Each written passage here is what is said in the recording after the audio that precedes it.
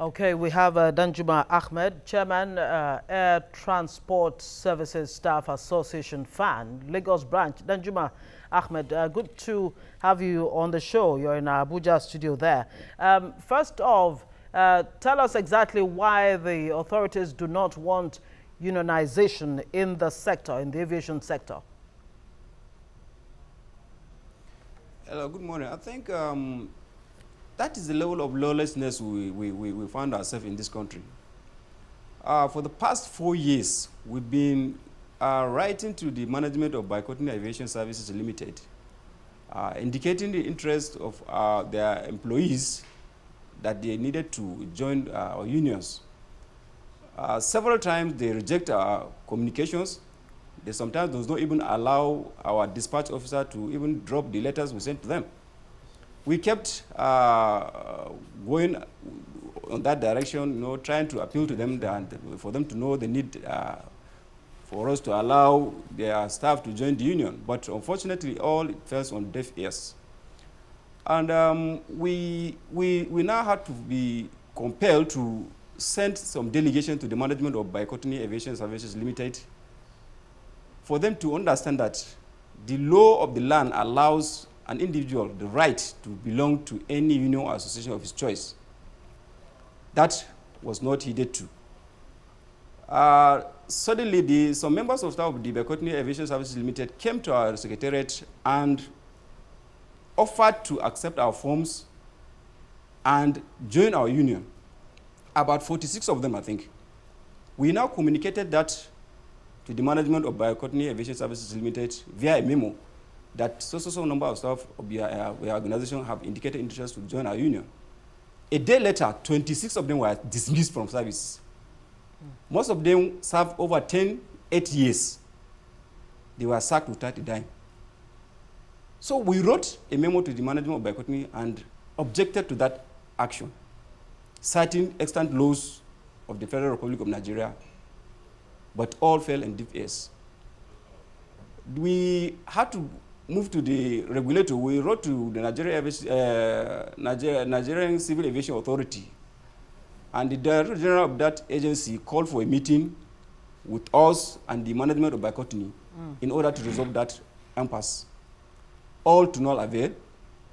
The security agencies, the DSS at the airport, the police, the SSS, and Air Force, we all met. They discussed with us. We told them our position. And we also hinted to them that, look, if the management of Bi-Courtney could not allow us to unionize, we'll be forced to do what we know how to do best. If I can interrupt you very quickly, Danjuma.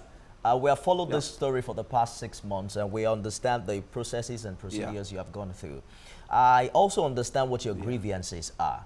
But there are some who would mm. say that, what about the implication? Uh, look at what happened yesterday passengers stranded, mm -hmm. heavy uh, uh, traffic. traffic. Imagine someone who has a life or death situation and who wasn't allowed to travel yesterday.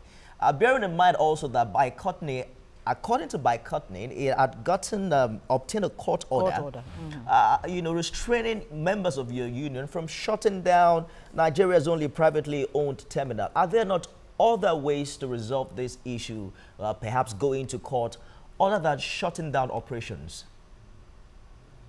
No, no, I, I, we sincerely are not happy with the development, actually. No any responsible union would like to put uh, citizens to a kind of hardship like this. But like I said, we followed all due processes before I arrive at this. And the court order you're talking about, we were not served with that court order. If you look at the court order, it was dated 9th, and nobody, was, nobody served us. That aside, the agents, particularly the regulators, the effort made by the management of NCA to resolve this matter, I, let me, I tell you, Three times, management of Bi-Courtney walk out of that meeting. We have tried as much as possible to ensure that this kind of situation does not arrive. But unfortunately, the management of Bi-Courtney are not willing.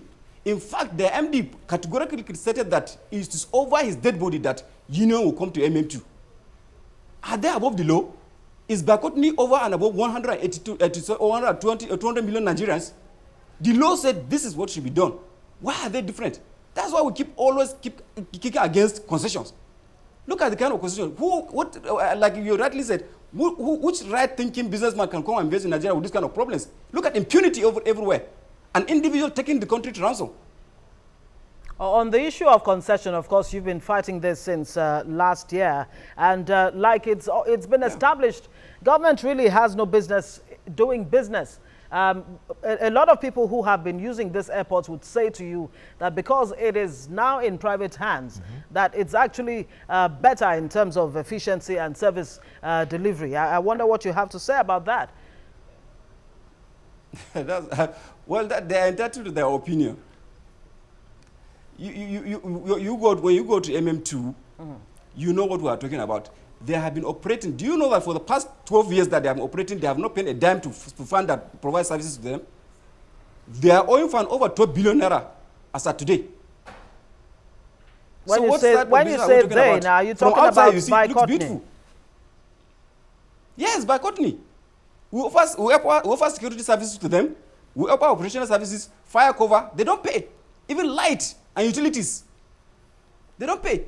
Danjuma Ahmed, sometimes and last because year. all the, because Sometimes last yeah. year, um, the National Union of Air Transport Employees urged the NCC, uh, the NCAA, uh, to reject proposal for the commencement of regional flights at the uh, Murtala Muhammed Airport mm. Terminal 2. Some are saying that I hope this issue is no more than what you know we can see. More political I mean, than anything else. What are your yeah. thoughts about that? No, to me, it's not political. MM2 has no capacity to run regional flights. That is the truth. Look at the, look at the, the size of that terminal. They have only six aviation bridges. When you are operating domestic and the regional flights, how can that going to be possible? When you have at the largest airport in the country, MMA, lying there, let me give you an instance. If a passenger is traveling to, uh, to like, assume, uh, example, Rwanda from here, and he is to connect another flight maybe from Abuja. Instead of him coming from uh, uh Rwanda direct and land in MM2 and move away, you are not telling him to move from MM2 to uh, from MMA to MM2 before he now flies to Abuja. Is that right? That is stopped facilitation. Mm. That aside, where are the facilities to run uh, domestic, uh, regional operations in MM2 when they have not even satisfied, satisfied the, the, the domestic uh, uh operations?